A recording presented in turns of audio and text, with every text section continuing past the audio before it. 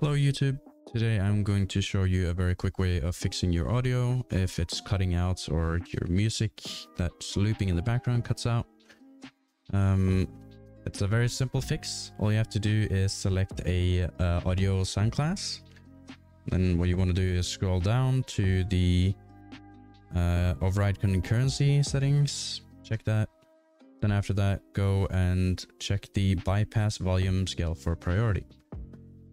Finally, you want to set a higher priority on this audio than any other source in your scene, especially if this is music. So I have mine, for example, at 10, and then I have a mental note of never crossing that line on any other audio specific thing. And then for other sounds that I find are important, like uh, enemy sounds, attack sounds that I don't want to cut out, then I will include that with a higher priority. Yeah.